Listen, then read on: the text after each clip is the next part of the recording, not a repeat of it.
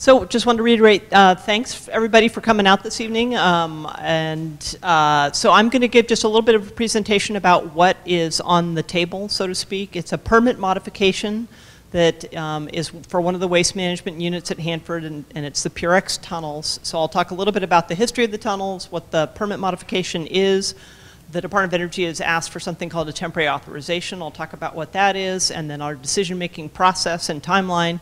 And then we've got some technical information that uh, a contractor for the Department of Energy, CH2M Hill, will be giving, um, and Dan Wood will give that presentation. A little more technical information about why they have asked for uh, a temporary authorization. But hopefully this will all become clear shortly. So uh, these are just some visuals about the tunnels. Um, you all probably heard uh, approximately a year and a half ago, tunnel number one partially collapsed. It's an, it was an all wooden structure and, um, and part of the roof collapsed. And at that point, um, the decision was made, it was an emergency to try to stabilize the tunnel. The structural integrity of the tunnel had already been compromised by the, the partial collapse. And so under the contingency plan of their permit, it, it's a, a permit under the Resource Conservation Recovery Act, and that is all about the safe management of uh, hazardous waste, but also hazardous waste that are mixed with radioactive wastes. So the, the permit, um, there's a contingency plan of what, what do you do in an emergency, and under that contingency plan, we allowed them to grout Tunnel 1. Now, Tunnel 1, in the photo on the left, you can see there's a little arrow, it says tunnel number one, but it's covered with a, a cover at that point in time. That is approximately 358 feet long, and the sort of long strip that goes along the right side of that is tunnel number two. Tunnel number two is approximately 1,680 feet long, and it is 10 times the volume of tunnel number one. These are artists' depictions of what's in those tunnels, and they've, they've actually, Department of Energy has gone in with video cameras and lights and has taken photographs of, of what's in those tunnels and video of what's in those tunnels, and this is basically a rendering of that. What's on the left is what's in tunnel number one, and tunnel number two is it's long, so they broke it up into three to fit this picture, but that's a rough approximation of, of what's in the tunnel. It's used equipment from the Purex facility, and the Purex facility was where they extracted plutonium from irradiated fuel rods. So they took irradiated fuel rods from the nine reactors, took them over to these large canyon facilities, and Purex Canyon is one of those. And then from that, they put them in, um, in essentially large baths of chemicals, the size of football fields, and then dissolved the fuel rods. And from that, they extracted plutonium that they then made into hockey pucks, and that's what was, um, you know, put on bombs and things. So the Purex facility made, an, um, I think, something like 60% of the, the nation's weapons grade plutonium. It, it was extracted at this facility. So the equipment from all that processing was highly contaminated, highly radioactive, and the way they disposed of it was to, they built these tunnels and put in rail cars on a slight decline and they put the equipment on the rail cars and put them into the tunnel and then closed the tunnel up with these water-filled steel doors. So. They did that in. So tunnel number one. What, what luck you asked that question. Uh, the tunnel was constructed between 1954 and 56. This is tunnel number one, the shorter tunnel that collapsed last year. Um, it was filled between 1960 and 1965, and again, it's failed equipment, and there's eight rail cars worth of failed equipment there. So tunnel number two was built in 1964, and it's a different kind of construction. You can see this is a picture during the construction. It was filled between 1967 and 96, and again, it's failed equipment, but this time there's 28 rail cars with the failed equipment on it. You notice it's a different kind of construction. They, they decided to make something a little sturdier, and so they did this Quonset hut using um, essentially corrugated metal. But while they were building it, the tunnel collapsed. And so they went back and essentially reinforced it. And you can see in this photograph, they reinforced it using concrete beams. And these right here are the wooden molds that they poured the concrete into. So that's, that's the construction of tunnel number two. So what waste is in the tunnels? Um, the types of equipment you can see up on the left side, it's concentrators, piping, centrifuges, dissolvers, uh, containers of waste from the 324 and 325 buildings, which is highly radioactive waste, um, and some liquid waste tank cars, but under RCRA they had to be emptied before they were put in the tunnel. So um, the RCRA regulated waste, again, that's the Resource Conservation and Recovery Act, all about the safe management of hazardous waste and hazardous waste that's mixed with radioactive waste.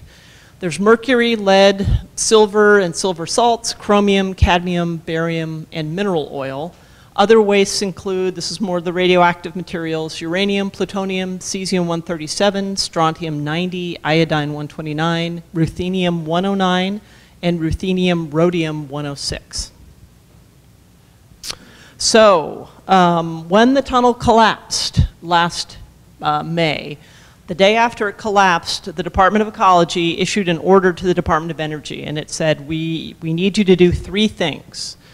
Thing one was you need to do an integrity assessment of both tunnels because one hadn't been done for decades. And so we, that was thing one. Thing two was you need to come up with some corrective actions. You need to identify ways in which you're going to stabilize both the tunnel structure as well as stabilize the waste in those tunnels so that at least it's safe for, for people in the community and also the workers in the area. And then the third thing they needed to do was once they identified the corrective actions and we were at least gave a preliminary okay from the Department of Ecology, they needed to then submit a permit modification so that their permit accurately described these corrective actions that they were going to take or, uh, yeah, that they're going to take. So, um, so the structural integrity evaluation, that was thing one we asked them to do. It said tunnel one um, presented an extreme collapse hazard. And so they began, um, under the contingency plan of their permit, as I mentioned earlier, they began stabilization. And actually, initially, um, within, I think it was 36 hours, they had filled the hole in with dirt to at least sort of, um, to cover up the hole, shield the area. But then uh, they went ahead and starting on, I guess, ending on November 11th, they went ahead and poured grout into that tunnel. And that's 358 feet long, the shorter tunnel and that took 521 truckloads of grout, um, about 4,434 cubic yards of grout was put in tunnel number one. It is now stabilized, and the grout is acting as shielding material. So tunnel number two, the integrity assessment that was done said uh, the existing tunnel two structure presents a high potential collapse hazard. So it wasn't extreme as in the case with tunnel number one, but it was a high potential collapse hazard to grout that, uh, that tunnel, to stabilize it using grout, will take 4,300 cubic yards of grout, approximately 5,000 truckloads. So the draft permit modification, which is what you all were asking you all to comment on today, um, this is what the permit process looks like. Um, they propose the permit modification, say we want to modify our permit to reflect that we will, will stabilize the waste on an interim basis using grout. Um, so they propose that, and this kind of permit modification, because it's a big deal, it's a big, it's a lot of work and a lot of effort, there's two public comment periods associated with it. There's one when the permittee, the Department of Energy, submits the proposal to us, and they do a public comment period at that point in time and that's the 60-day public comment period. So the Department of Energy did that in February to April of this year, and they held a public meeting in Richland in March. So then the second public comment period is what's going on right now, and that comes about when the Department of Ecology has looked at the permit modification and made sure we've got all the information that we need, and then we go ahead and we propose the permit modification that we think we, we should adopt and we put that out for public comment. So that's what's happening right now. It's a 45-day public comment period. We put this out on August 13th. The public comment period runs until September 27th.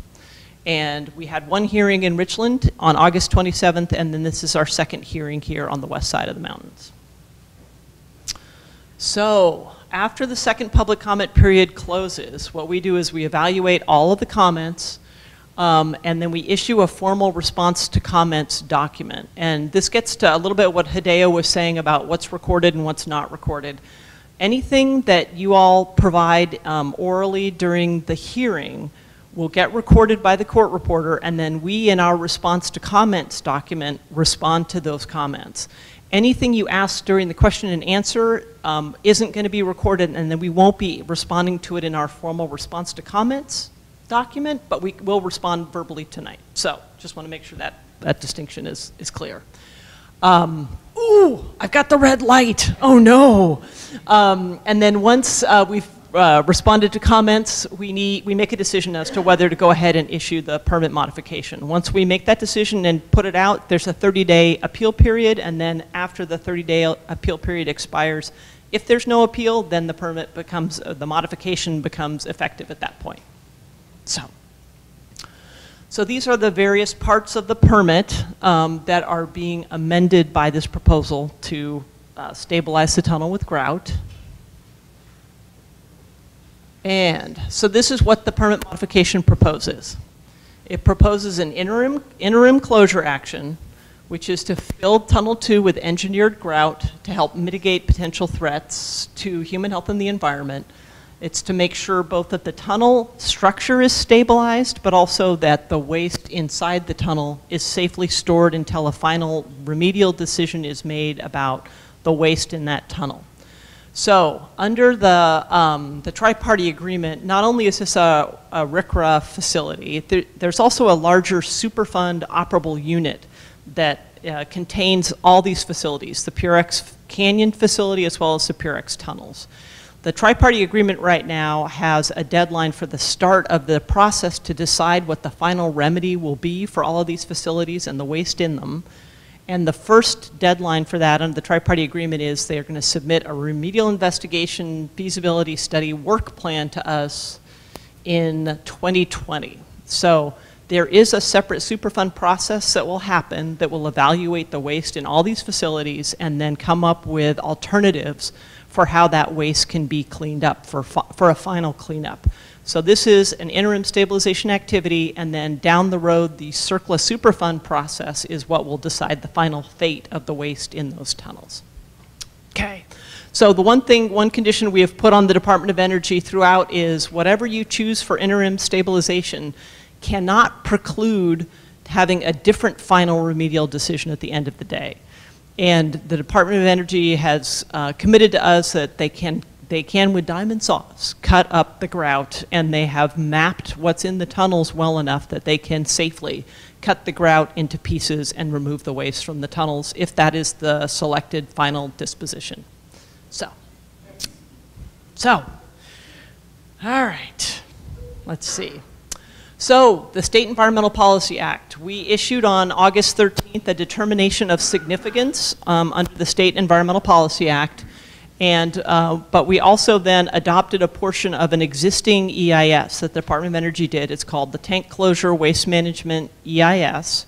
And it, specifically evaluated the environmental impacts of grouting these tunnels because that was something the Department of Energy has been contemplating. So we went ahead and adopted that as part of our SEPA process. Um, but once we get to final closure of the tunnels, then we'll need to do further environmental analysis of an array of different alternatives for, for that waste. So there will be alternatives evaluated when the final remedy is chosen for the tunnels. Okay, so on July 12th, the Department of Energy submitted what's called a temporary authorization request. And that basically says, um, that we have discretion at the Department of Ecology to allow them to go forward with the work that they want to do under their permit modification, but ahead of the public comment period. So go ahead and do it before the public comment period ends. So they've submitted that request to us, and it, part of the reasoning for that was they got a chance to go uh, get some cameras inside the tunnel and take a look with video and cameras, and they saw that there was corrosion on a lot of the metal parts in one end of the tunnel and that caused them a lot of concern. And so they thought it would be prudent to go in and grout early, get the grouting done before winter comes. If we follow our normal process and don't uh, grant the temporary authorization request, don't let them grout early, then likely the permit won't be effective until mid-November. And so that would put the bulk of their grouting work in, in the winter. So that's part of the reasoning. And Dan Wood is here to kind of, is to talk a little bit more about the temporary authorization request and their thinking behind that. Speak up? Okay, sorry. Okay. Okay. Um, so What we asked at the Department of Energy, what we asked them to do when they issued the temporary authorization request was give us more information about what does the corrosion mean? You know, how do we know that it hasn't been there for decades, and, and does this mean it's a, it's, um, there's a higher likelihood of a collapse in the near term? So the department gave us some additional information. Um, and uh, we said, based on that, you can go ahead and start putting in uh, equipment and infrastructure but it's at your risk, understanding that as we move forward with the public process, if, if the decision is made by ecology that we don't think it's appropriate to start grouting early or that we don't think it's appropriate to grout, that you've gone ahead and placed this equipment at your risk. And the department has, has gone ahead and done that. Um, but we also said as part of that letter, we want some quantitative information from you. You've, you've done some numbers on the integrity assessment. We'd like you to update those numbers with um, additional information and assumptions based on the corrosion that you found. And so the department has done that, and Dan will talk a little bit about what those numbers indicate. Um, okay. So tonight's hearing, the purpose is explain what the action is. Hopefully um, you understand it's all about grouting tunnel number two um, to answer your questions and then receive your comments. So I'm going to go ahead and hand it off to Dan and pull up his presentation. Good evening. My name's Dan Wood. I'm the Chief Operating Officer for CH2M Plateau Remediation Company. We are a company that is responsible for the safe maintenance and protection of a large number of facilities at Hanford, including the Purex facility and the tunnels associated with it. I'm going to go through the background but focus on recent investigations, what we found during the remote inspections, show you how that affects the calculations that previously showed the tunnel at risk, talk through two case studies to give you some examples of where structural corrosion has a significant impact, talk about the nuclear safety perspective, and then close with one slide and speak on the diamond wire saw technology that has been used in decommissioning around the world. The tunnel, as you saw in Alex's slide, did collapse. You can see that in the top right during construction. It's basically a World War II Quonset hut type design. I'm going to point out two things that I want you to pay attention to on this slide. The first, at the top of the arch, you can see a small connection. I'll show you a highlight of it. It's one of the overstressed points on this structure. The other has to do with the redesign. The concrete arches were put on to strengthen the top of the tunnel. And to keep it from falling in in between the arches, they ran I-beams, the technical term's a wale beam, that are anchored. And these anchors are another area of concern. So I'll show you those. We'll talk about those later.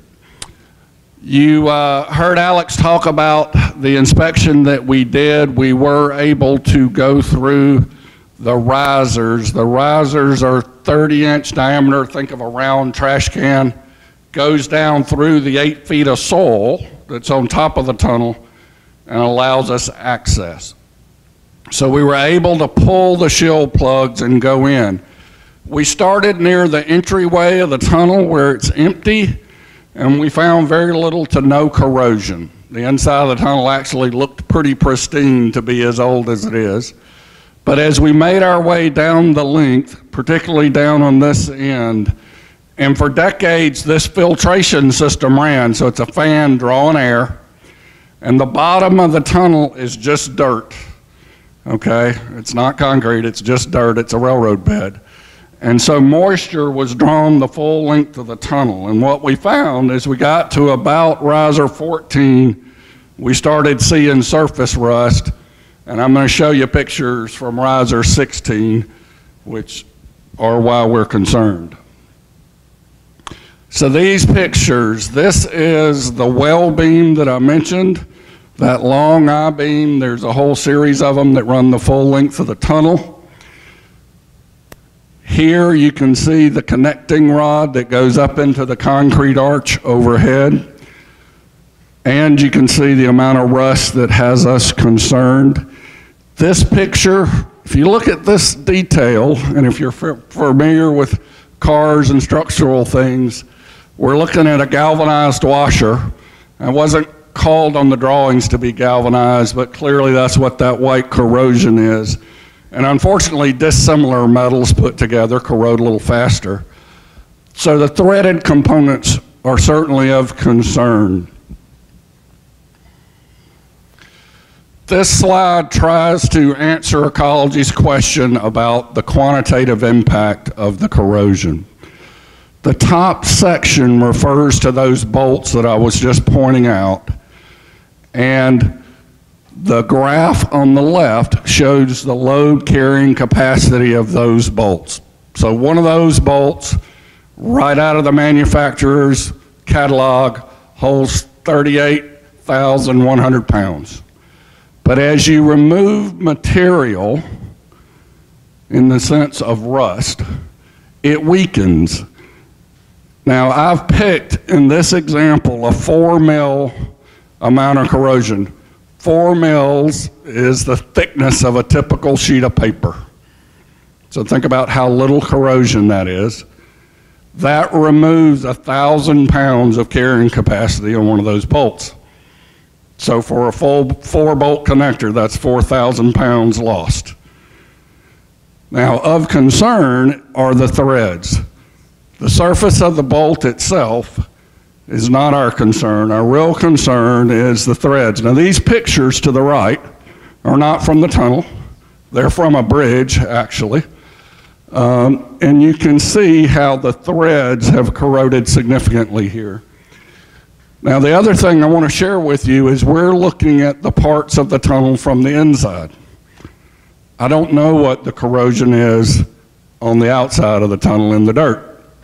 Okay, but in this example from the bridge, the bolt looks fine on top, and the young engineer who was doing the study literally, she could pick it up. The bolt didn't exist underneath. So that's one example and one component of concern. The second is this splice that I talked about. This is a picture of that splice actually failed when the tunnel collapsed during construction. So this picture is from the early 1960s. And this finite element analysis basically is simple to describe. The red, it, the red is bad and the green is good, right? Of most concern is the weld here and you see in this connection, that's that weld joint broken away from the I-beam below.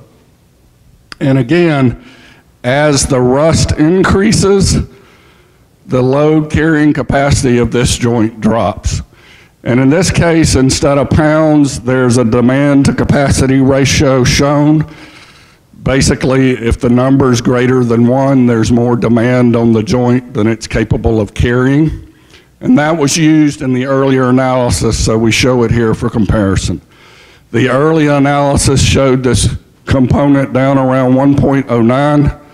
If you take into account even a moderate amount of corrosion, you quickly get up to a 1.45 type overload, 45% over its capacity.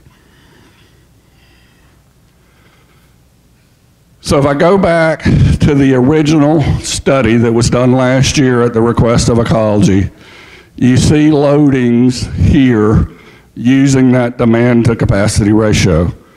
Now there are lots of components and parts in the structure, but we picked out ones to highlight that were overloaded. Now, the one that has us most concerned today is the arched rib beam splice. That's the one I was just talking about with you. That with just a 32nd of an inch, so six or seven thicknesses of a piece of paper gone from that weld, you get a 1.45 demand to capacity ratio.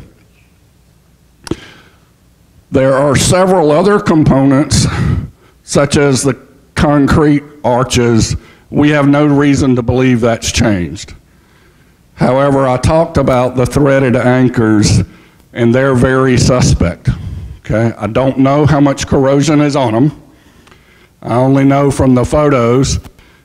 I wouldn't want to be standing on something that looked like that. Real quick, I want to talk about two case studies.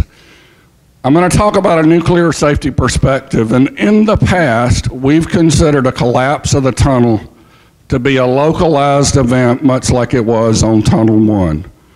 One connector would fail, that would be it. We would impact maybe the waste right below it, and that would be the end of it. There's a term called a progressive failure. Somebody might have called it a domino effect or a zipper effect, where when one structural component fails, the load has to be picked up by the rest of the structure. If the component beside it can't carry it, it'll fail. An extreme example of that is this structural steel bridge. This is I-35 West in Minneapolis, and you may recall that it failed. What was interesting about this bridge, it was 40 years old. It was known to be overstressed to today's standards. It had corrosion, as you can see in the photos there. And they were working on it at the time, but they were working on trying to repair the potholes. They were not working on the structure. 13 people lost their lives, very unfortunate. The second case study has to do with snow loading. Snow loading is some of the heaviest loads that an outdoor structure carries in our environment. This particular uh, paper that we looked at was from the Spokane Coeur d'Alene area some years back, about 10 years ago. Had a big snowfall. They had well over 100 structures fail. And the Structural Engineering Association in that area did a case study. And what they found is not a single structure had more snow on it than designed for today. However, 95 of them failed and they failed because they were built to older standards. They may have had corrosion or been modified. They may not have been built with all the components properly. It's a whole spectrum.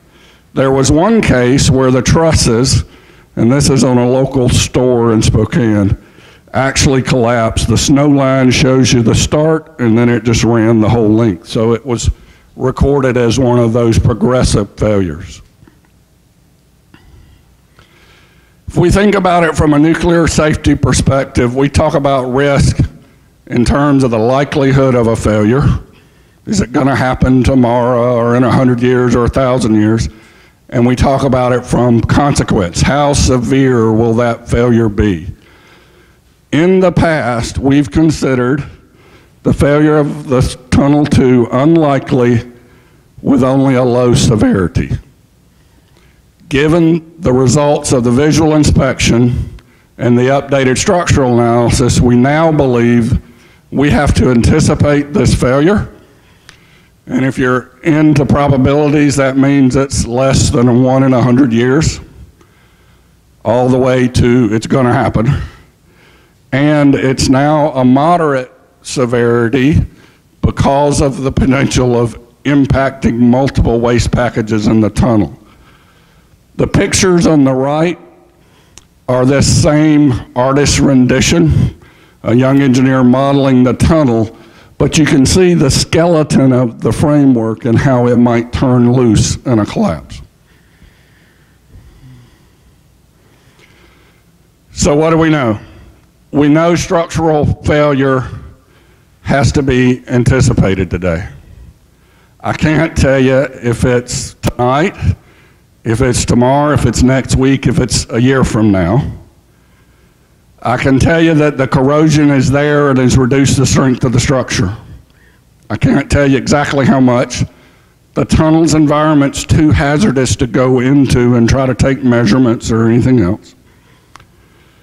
So our, the full extent of that corrosion and what it's doing to the structure is unknown. We do know that a failure could put the workers in the area, the public, and the environment at risk. These components are highly radioactive, and a failure could rupture one of the waste containers or pieces of equipment and create an airborne release. One last slide on diamond wire saw cutting grouting waste is a very known and common way to respond because it provides shielding and it locks down the contamination. Throughout industry, whether it be nuclear industry or non-nuclear, this technology of using a cable that's got embedded beads of man-made diamonds and it uh, is a way to solve very dense and strong concrete and metals. So this saws right through the concrete and the rebar.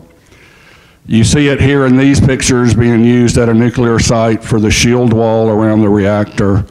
It's been used in a lot of configurations. This is not a new technology, it's a very well known one. And as Alex said earlier, we now have a mapping of the entire tunnel so we can saw between the various rail cars and the waste components if that's what we decide to do in the future. Thank you. Okay, at this time, we have two other people who are going to give short presentations. One is from Heart of America Northwest. Go ahead and set your slides up. Yeah, go ahead and set that up and tell me when you're ready. So the first one will be by Gerry Pollet with Heart of America Northwest, which will be followed by Tom Carpenter with Hanford Challenge. And as soon as he gets his PowerPoint slides up, he will start. I'm Gerry Pollet with Heart of America Northwest, and I want to start by thanking all of you for coming out. It's been four or five years since the Department of Ecology, U.S. Department of Energy have agreed to do any public meeting on any Hanford decision outside of Richland. And so thank you for being here at the first public hearing in four or five years and offering your comments. Um, and thank you for Ecology for holding this hearing. Um, it's been a struggle since the Energy Department has not been wanting to go around the region and answer any questions. Um, tonight's number one word, I would say, is irony. And this is from King 5 Television's award-winning investigative reporting. Um, for 20 plus years, citizen groups and the Hanford Advisory Board have been saying these tunnels will collapse and the Energy Department should be ordered to remove the waste from the tunnels. And two years ago, the Energy Department would have scoffed at its own presentation here tonight, saying that the tunnels are at high risk of collapse. Um, in 1980, 48 years ago, the Energy Department commissioned a study warning that the tunnels would collapse. In 1991, the Energy Department made a formal commitment to the U.S. Uh, to Washington Ecology that it would either remove the waste from the tunnels by 2001 or it would do a new structural integrity study. 2001 came, Ecology forgot about it, the Hanford Advisory Board, citizen groups did not, and nearly every year since we've said, get the waste the heck out of those tunnels. But the Energy Department has always said, we actually want to grout the tunnels. We never want to remove the waste. And now, lo and behold, Tunnel 1 collapsed, and they've got the darndest convenient excuse for grouting the tunnels. And they're so eager to do so, they don't want to wait to review your comments, and they want permission to just go ahead. And so we urge you to say no to going ahead before they've considered your comments. Why? First off, they actually don't know what's in the tunnels. And they never will once they grout the tunnel. It is impossible to ascertain and legally meet the legal requirements for knowing the chemical wastes in these tunnels. What came out of the Purex plant included wastes that are known to self-concentrate and explode, in addition to being high-level nuclear waste and plutonium wastes that are only legally allowed to be buried deep underground in a geologic repository. And since time is real short here and we're at four minutes, I'm going to say the State Environmental Policy Act requires consideration of reasonable alternatives to stabilization.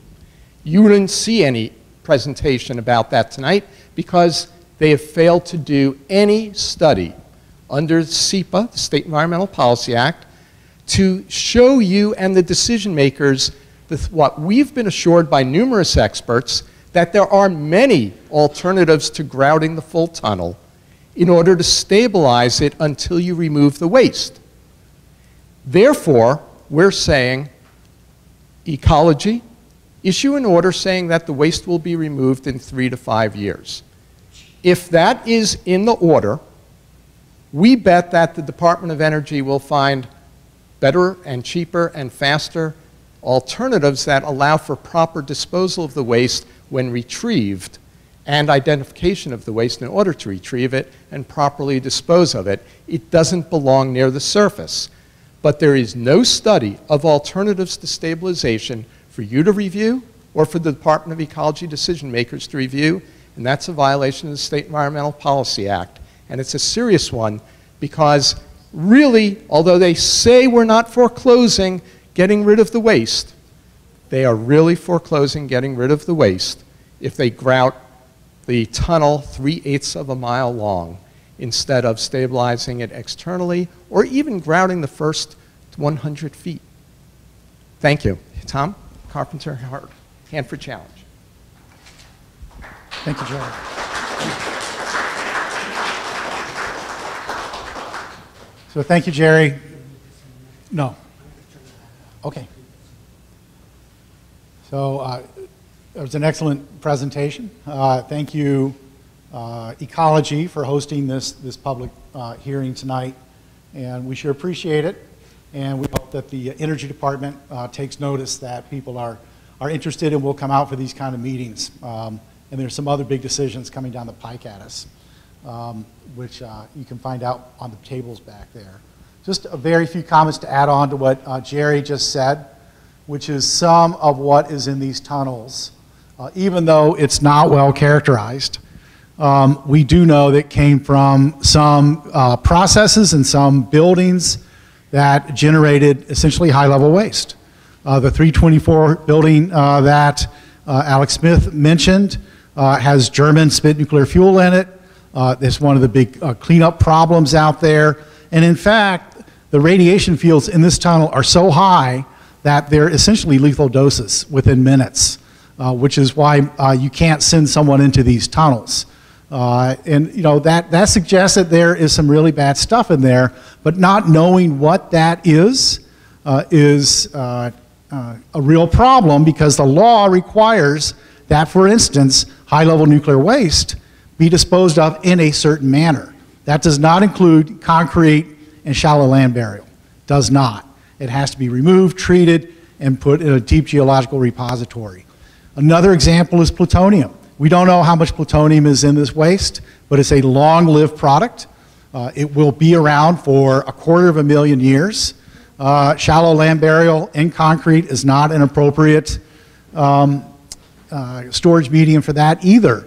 Uh, and there are laws about how much plutonium you can leave in shallow land burial, uh, and I'll bet you that it would be violated if it was like that. So we are with everyone else on this one, which is to say, uh, ecology really does need to require that this will be removed. Not just DOE says that someday it could use diamond wire saws and cut it up. The temptation is going to be overwhelming to say, ah, it's in concrete, let's walk away, it's done. We got other fish to fry here out at Hanford, which is true. There's a lot of problems, uh, but we can't, uh, we can't let the economics of it be so tempting. So how do you get around that? You have an order, you have an enforceable agreement in the tri-party agreement that can be enforced down the road in a court of law. So uh, that's what we're urging comments tonight to reflect. We're hoping that ecology listens to that. Uh, and, you know, um, uh, I think this is a done deal. I th think this tunnel is going to get filled with concrete. Um, and you might want to ask that question. I have heard that, you know, things like contracts have been let, et cetera. So I think it's coming down the pike at us. Uh, so what can we do from here? Thank you very much.